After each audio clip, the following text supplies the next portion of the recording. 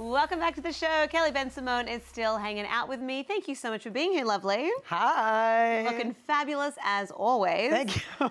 uh, which is why you should be on Real Housewives of Beverly Hills, actually, because yeah, those ladies They they, bring the They fashion. dress, Yes, and Oh last night God. was no exception. Uh, The ladies were looking juicy, and of course the drama was just as juicy.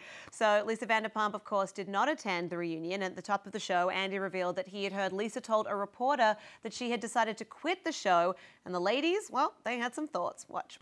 I think she gave that interview yesterday so that she could say she quit because she knew that if she didn't show up here today, that you would probably do the same thing that you had to do with Adrienne and fire her. So she was preempting getting fired by saying she quit yesterday.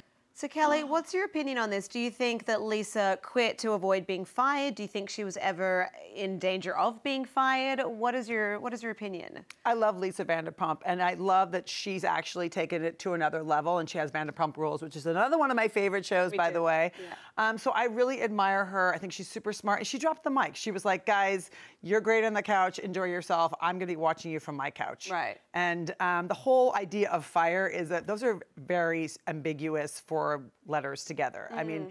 you know, fire.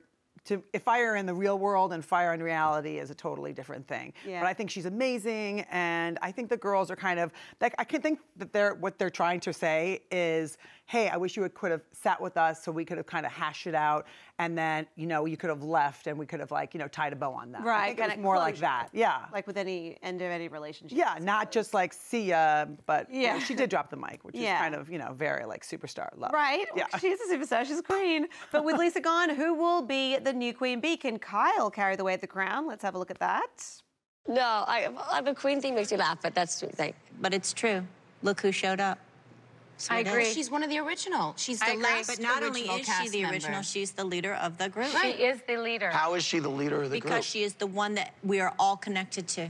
Well, I tell you what, was one fan was not on board with the passing of the crown, tweeting this. Sorry, Erika, you don't choose the queen, and the crown isn't inherited. The fans crown the queen, and this crown left with the queen. So oh Kelly, right? My God, I, are off. I love these fans so much. I know they're very passionate. Oh my God, on Twitter, you have to follow. There's like an actual fan site that, that you can join, and Yeah. they just go crazy. And sometimes, like, some of the housewives will go in and, in, in and out because it's really interesting to hear what the fans have to say. Yeah. Um, do I think that the queen is, you know, if there's a new queen, the fans really decide that. I mean, Mm-hmm. we can sit there and say, like, oh, you know, I know you and you from her, from you, but it's really the fans decide, like, who is, like in Mean Girls, they decide, like, who's the who's going to be the one that's going to really yeah. make the decision. Who's going to be the Regina George? Exactly. who would be the Regina George? Well, who would you who would you give the crown to, in your opinion? 'Cause you know Uh, these ladies. I don't know. I, I'm a big fan of Lisa Rinna, and I Mm. just love the way she dances. She's got a really good spirit, a really good mindset, and I feel like she is a good queen just because she's an amazing diplomat. Right. And but she's also very discerning, very honest. She's a good businesswoman outside of the show, so she's like the transparency of on and off camera is really good, and I Yeah. think that that shows like a good queen.